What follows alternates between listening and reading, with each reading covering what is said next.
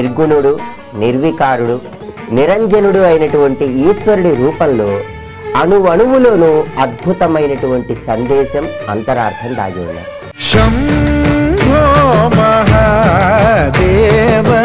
శంకర గిరిజారమణ శంభో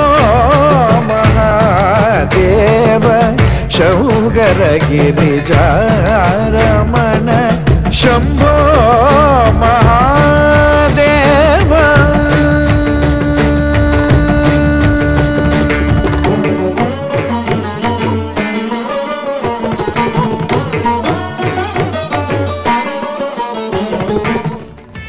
పరమేశ్వరుడి సాకార రూపాన్ని మనం పరిశీలించినట్లయితే శిరస్సు మీద ఉన్నటువంటి జటాజూటము తలపైన గంగ చంద్రుడు విభూతి రేఖలు త్రిశూలము త్రినేత్రము సర్పాభరణాలు ఏనుగు చర్మము జింక చర్మము ఇవన్నీ కూడా మనకి అద్భుతమైనటువంటి సందేశాన్ని ఇస్తున్నాయి.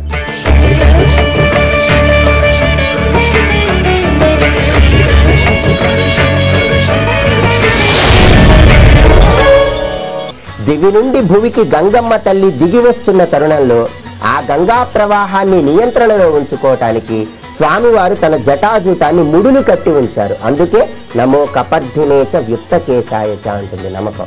పరమేశ్వరుడి రూపంలో ఆయన జటాజూటాన్ని మనం పరిశీలించినట్లయితే ఈ జటాజూటం గురించి నమ్మకంలో హరికేశేభ్యో అంటూ వర్ణించారు. అంటే పరమేశ్వరుడు ఆకుపచ్చ రంగులో ఉన్నటువంటి జటాజూటాన్ని ధరించి ఉంటాడని నమ్మకం మనకు తెలియజేస్తుంది. ఈ ఆకుపచ్చ రంగు ప్రకృతికి సంకేతం. ప్రకృతిలో అణువణువు తాను నిండి ఉన్నాను అని చెప్పటానికి సంకేతంగా పరమేశ్వరుడు ఆకుపచ్చ రంగులో ఉన్నటువంటి జటాజూటాన్ని ధరించి ఉన్నాడు. జటాకటాహ సంభ్రమ నిర్జరి విలోల వీచి వల్లరి విరాజమాన మూర్ధని ధగ ధగ ధగజ్వల లలాట పట్ట పావకే కిశోర చంద్రశేఖరే ప్రతి ప్రతీక్షణం మమ. పరమేశ్వరుడి శిరస్సు పైన అర్ధచంద్రుడు అద్భుతమైనటువంటి సందేశాన్ని ఇస్తాడు పరమేశ్వరుడి శిరస్సు పైన ఉన్నటువంటి గంగమ్మ తల్లి కూడా చక్కటి సందేశం మనకు అందిస్తుంది. సహస్రలోచన ప్రభృత్య శేషలేఖ శేఖర ప్రసూన ధూళి ధోరణి విధూసరాంఘ్రి పీఠభు భుజంగరాజమాలయ నిబద్ధ చాట జూటక శ్రియై చిరాయ జాయతాం చకోర బంధు శేఖర. పరమేశ్వరుడు హాలాహలాన్ని స్వీకరించాడు. గంగమ్మ తల్లి చంద్రుడు ఇద్దరూ కూడా ఆ హాలాహల తీవ్రతను తగ్గింపచేసి ఈశ్వరుడికి చల్లదనాన్ని కలిగింపజేస్తారు ఈశ్వరుడి శిరస్సు మీద ఉన్నటువంటి గంగ జ్ఞాన గంగ. అంటే జ్ఞానం అనేది ప్రతి ఒక్కరిలో నిరంతరం ప్రవహిస్తూ ఉండాలి అని చెప్పటానికి సంకేతంగా పరమేశ్వరుడు శిరస్సున గంగమ్మను ధరించి ఉన్నారు ధనంజయ స్ఫులింగభ నిపీత పంచసాయకం నమన్నిలింప నాయకం సుధామయూఖలేఖయ విరాజమాన శేఖరం మహాకపాలి సంపదే శిరోజదాలమస్తు నః పరమేశ్వరుడు తన శిరస్సు మీద అర్ధచంద్రుడిని ధరించి యోగ శాస్త్రపరంగా అద్భుతమైన సందేశం ఇస్తున్నాడు. యోగ శాస్త్రం ద్వారా ఆత్మ సాక్షాత్కారం పొందిన యోగికి సహస్రారం నుండి అమృతం స్రవించడం వలన అన్నపానములు అవసరం లేని స్థితి ఏర్పడుతుంది. అటువంటి స్థితికి చిహ్నంగా విశ్వేశ్వరుడు తన శిరస్సున నెలవంకును ధరిస్తాడు. కరాల భాల धग धग धगज्वल धनञ्जयाहुतीकृत प्रचण्ड पञ्चसायके धराधरेन्द्र नन्दिनी कुचाग्र चित्रपत्रक प्रकल्पनैक शिल्पिनी त्रिलोचने रतिर्मम పరమేశ్వరుడు నీలకంఠుడు విషాన్ని స్వీకరించక ముందు ఆయన కంఠం తెల్లగా ఉంది విషాన్ని స్వీకరించిన తర్వాత ఆయన కంఠం నీలం రంగులోకి మారిపోయింది తెలుపు పగలుకు సంకేతం నీలం రంగు రాత్రికి సంకేతం. అంటే సృష్టిలో పగలు రాత్రి ఈ రెండింటినీ నియంత్రిస్తూ కాలగమనాన్ని శాసించే కాలపురుషుడిని అని చెప్పటానికి సంకేతంగా ఆయన నీలకంఠుడిగా విరాజిల్లుతూ భక్తులందరినీ అనుగ్రహిస్తున్నారు. నవీన మేఘ మండలి నిరుద్ధ దుర్ధర స్ఫురత్ నీతమ ప్రబద్ధ బద్ధ కంధర నిలింప నిర్ఝరీధర స్తనోతు వృత్తి సింధుర కళా నిధాన బంధుర శ్రియం జగద్ధురంధర పరమేశ్వరుడి చేతిలో త్రిశూలాన్ని ధరించి ఉంటాడు ఆ త్రిశూలానికి మూడు కొనలు ఉంటాయి ఆ మూడు కొనలు కూడా మనలో ఉన్నటువంటి సత్వగుణము రజోగుణము తమోగుణము. ఈ మూడు గుణాలకు సంకేతం. మనిషి అంటే శరీరం కాదు ఇంద్రియాలు కావు మనస్సు కాదు బుద్ధి కాదు ఆలోచనలు కావు. మనిషి అంటే లోపల ఉన్న ఆత్మ అని అర్థం. ఆ ఆత్మ స్వరూపం తెలిసిన వ్యక్తి త్రిగుణాలకు అతీతమైన నిర్గుణ తత్వంలోని ఆత్మానందాన్ని తెలుసుకోవలసినదిగా తెలియజేస్తూ త్రిశూలాన్ని ధరిస్తాడు త్రయంబకేశ్వరుడు. ప్రఫుల్ల నీల పంకజ ప్రపంచ కాలిమ ప్రభ వలంబి కంఠ కంధలీ రుచి ప్రబద్ధ కంధరం స్వరచ్చిదం పురచ్చిదం భవచ్చిదం మఖచ్చిదం గజచ్చిదాంద కచ్చిదం తమంత కచ్చిదం భజే. పరమేశ్వరుడికి త్రినేత్రం ఉంది. పరమేశ్వరుడి కుడి నేత్రం సూర్యుడికి సంకేతం. పరమేశ్వరుడి ఎడమ నేత్రం చంద్రుడికి సంకేతం ఆయన త్రినేత్రం అగ్నికి సంకేతం ఆయన త్రినేత్రంతో కాముడిని అంటే మన్మధుడిని దగ్ధం చేశాడు. అంటే నీలో ఉన్నటువంటి కామాన్ని నీలో ఉన్నటువంటి కోరికలను తొలగింపజేసుకోమని చెప్పటానికి సంకేతంగా పరమేశ్వరుడు త్రినేత్రాన్ని కలిగి ఉండి భక్తులందరికీ అద్భుతమైన సందేశాన్ని ఇస్తున్నాడు. అఖర్వ సర్వ మంగళా కళా కదంబ మంజరి రస ప్రవాహ మాధురి విజృంభణ మధువ్రతం స్మరాంతకం పురాంతకం భవాంతకం మఖాంతకం గజాంతకాంతకాంతకం తమంతకాంతకం భజే పరమేశ్వరుడు ధమరుకాన్ని ధరించి ఉంటాడు. ధమరుకం అంటే అది ఆకాశతత్వానికి సంకేతం. ఢమరుకం నుండి వచ్చే శబ్దం ఓంకారనాదంతో ప్రతిధ్వనిస్తుంది.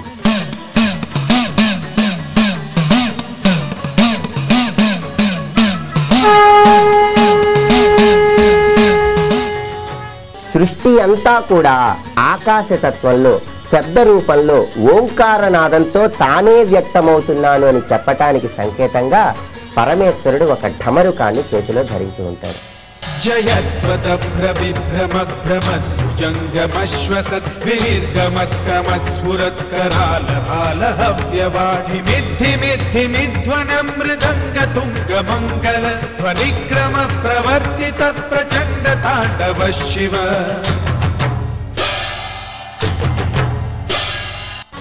తాను వేద స్వరూపుడునని తెలియజేస్తూ నాలుగు పాదాలు గల జింకను ఒక చేత ధరించి మృగపాణిగా కీర్తింపబడుతున్నాడు సర్వేశ్వరుడు.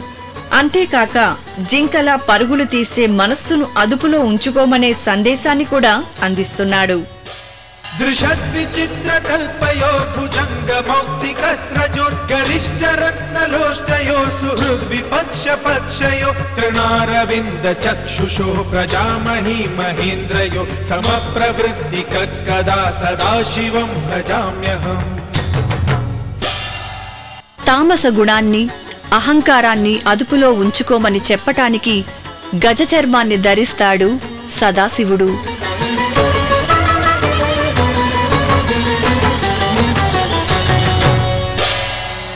పరమేశ్వరుడు సర్పాలను ఆభరణాలుగా ధరించటంలో ఉన్న అంతరార్థం ఏంటి అంటే మానవ శరీరంలో వెన్నెముక దగ్గర ఇడ పింగళ సుషుమ్న అని మూడు నాడులు త్రికోణాకృతిలో ఉంటాయి. అక్కడ కుండలిని శక్తి సర్పాకారంలో చుట్టలు చుట్టుకొని పడుకొని ఉంటుంది. మనం శివారాధన చేయటం ద్వారా శివధ్యానం చేయటం ద్వారా మనలో కుండలిని శక్తి సర్పాకారంలో ఉన్నప్పుడు సర్పం చుట్టలు చుట్టుకొని ఉన్నప్పుడు ఆ చుట్టలు విప్పుకొని ఏ విధంగా అయితే బుస కొడుతుందో ఆ విధంగా ఒక్కసారి కుండలిని శక్తి పైకి వచ్చి సహస్రారానికి చేరుతుంది. నీలో ఉన్నటువంటి సర్పాకారంలో ఉన్నటువంటి కుండలిని శక్తిని జాగృతం చేసి అద్భుతమైన సిద్ధులను పొందు అని చెప్పటానికి సంకేతంగా పరమేశ్వరుడు సర్పాలను ఆభరణాలుగా ధరించి ఉన్నాడు.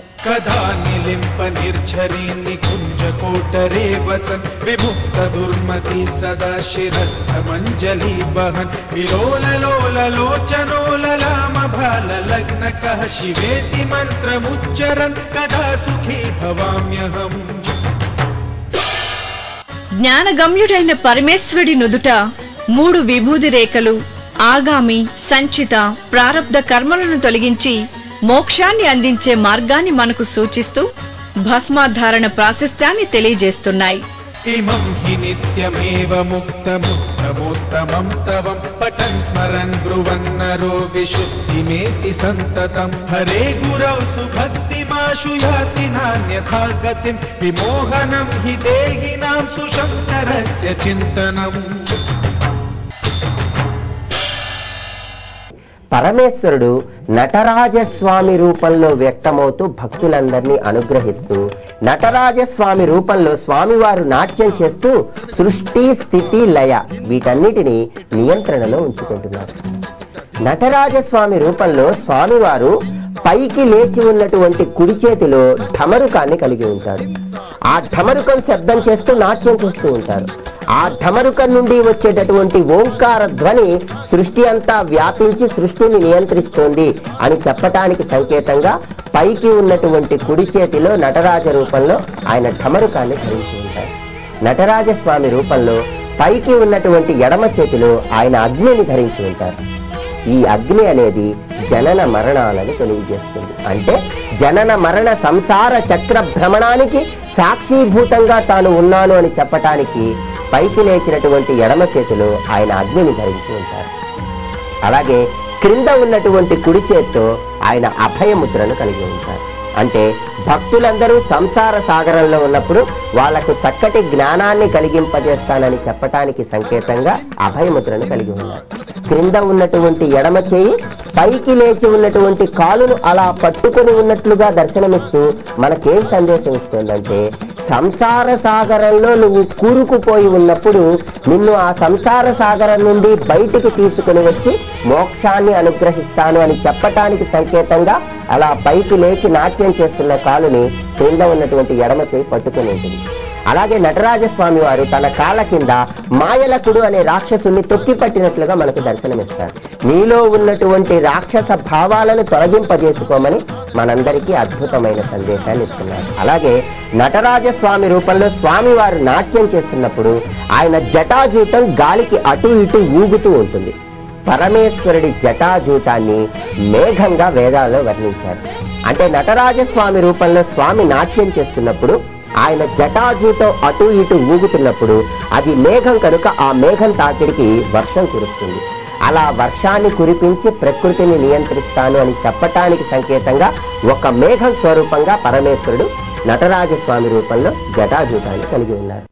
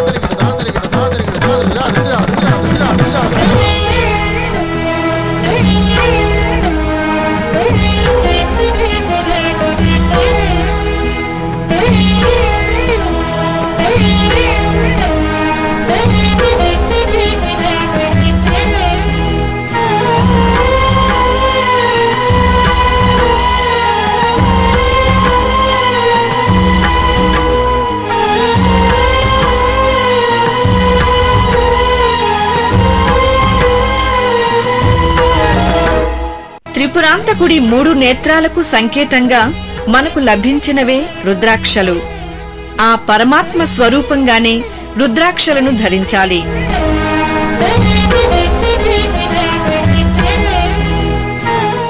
ఈ సకల చరాచర సృష్టిలో భూగోళం నక్షత్రాలు గ్రహాలు సముద్రాల యొక్క సూక్ష్మ విశ్వరూపమే లింగరూప స్వరూపమని లింగ పురాణం తెలియజేస్తోంది. లింగం అంటే గుర్తు అనే అర్థం కూడా ఉంది. ఈ సకల చరాచర సృష్టిలో ఈశ్వరుడు పరమాత్మ ఎన్ని రూపాలలో వ్యక్తమవుతున్నప్పటికీ నిర్గుణ పరబ్రహ్మ స్వరూపంగా ఆ పరమాత్మ ఏ రూపము లేకుండా ఆత్మలాగా మన శరీరంలో ఉన్నారు అదే నిజల నిజమైన పరమాత్మ స్వరూపము అని చెప్పటానికి గుర్తుగా ఉన్నదే లింగం. అందుకే లింగం అంటే గుర్తు అని అర్థం. యోగ శాస్త్రం ద్వారా ఆత్మ సాక్షాత్కారం పొందిన వ్యక్తికి స్త్రీ పురుష భేదభావం ఉండదని తెలియజేసేదే అర్ధనారీశ్వర తత్వం.